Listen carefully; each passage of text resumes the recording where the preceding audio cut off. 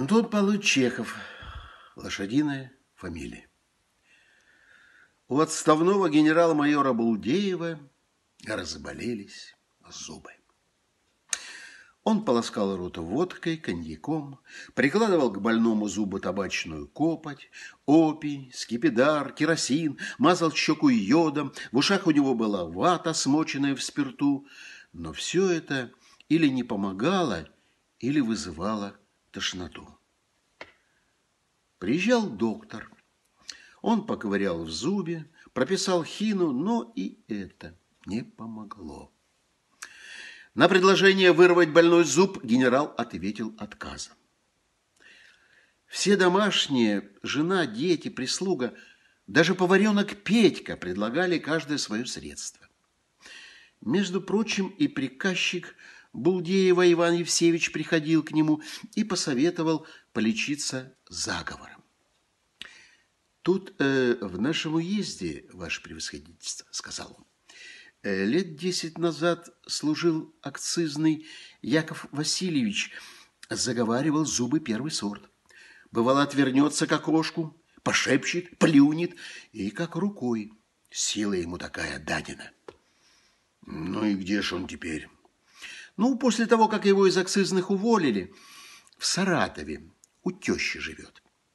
Теперь только зубами и кормится. Но ну, ежели у какого человека заболит зуб, то идут к нему, знаете, помогает. Тамошних саратовских на дому у себя пользуют, а ежели который из других городов, то по телеграфу.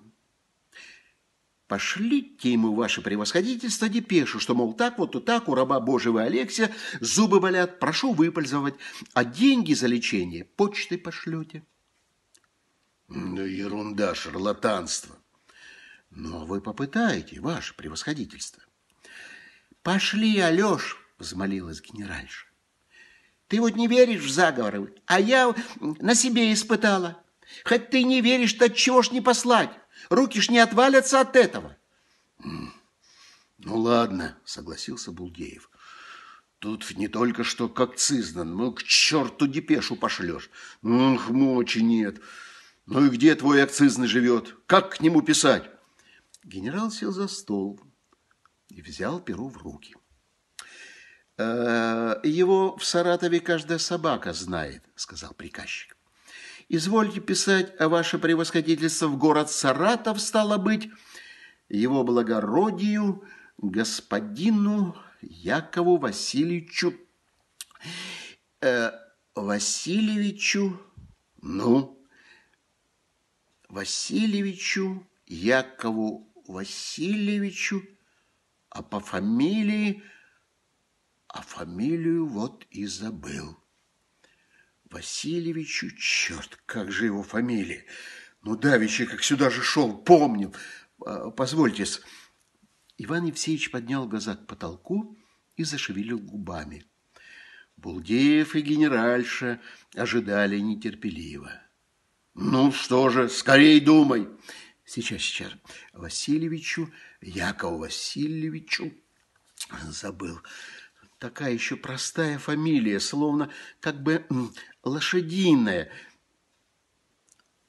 Кобылин? Не, не, не Кобылин. Постойте.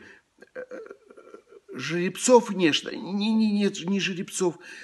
Помню, фамилия лошадиная, а вот какая из головы вышибла? Жеребятников? Никак нет. Постойте. Так, значит, Кобылицын, Кобылятников, а, Кобелев. Ну, это ж совсем не лошадиное. Жеребчиков? Нет, не Жеребчиков. Лошадиный, Лошаков, Жерекопы. Все не то, все не то. Ну, а как же я буду ему писать, ты подумал? Сейчас, сейчас, сейчас. Лошадкин, а, Кобылкин, Коренной. Коренников? Спросил генеральша. Никак нет. Пристяжки? Нет, не то, не то. Забыл, а?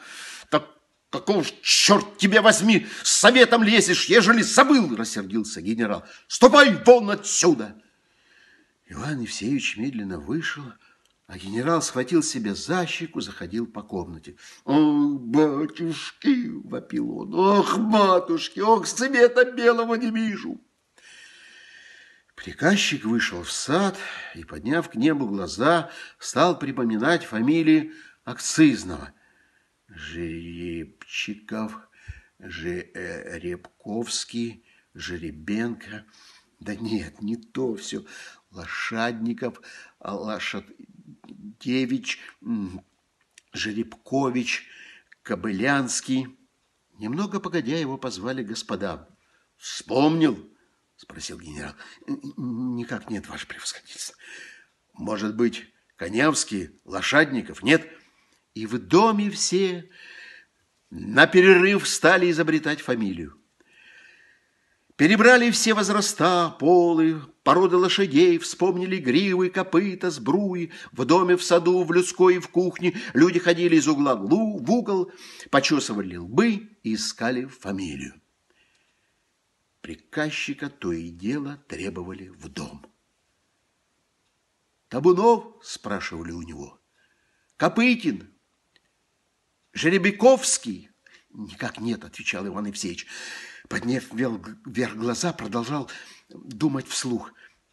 Коненко, Конченко, Жеребеев, Кобылеев. «Папа!» – кричали из детской. «Тройкин! Уздечкин!» Взбудоражилась вся усадьба. Нетерпеливый, замученный генерал пообещал дать пять рублей тому, кто вспомнит настоящую фамилию, и за Иваном Евсеевичем стали ходить целыми толпами. «Гнедов!» — говорили ему. «Рысистый! Лошадицкий!» Но наступил вечер, а фамилию все еще никак была не найдена. Так и спать легли, не вспомнив и не послав телеграммы.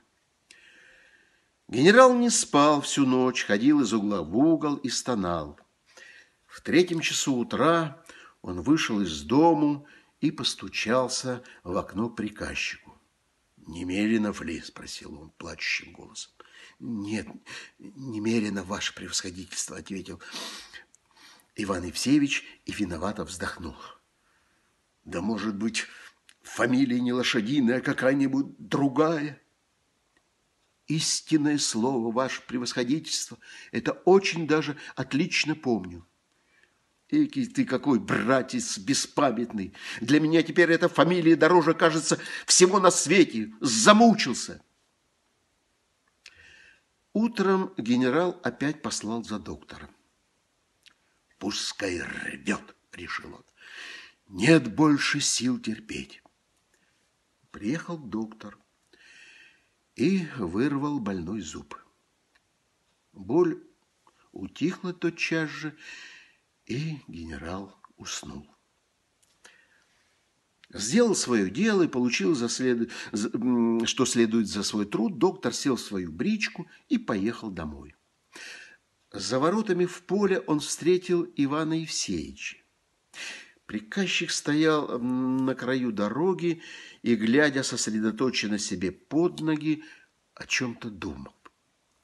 Судя по морщинам, бороздившей его лоб, и по выражению глаз думы его были напряжены и мучительны.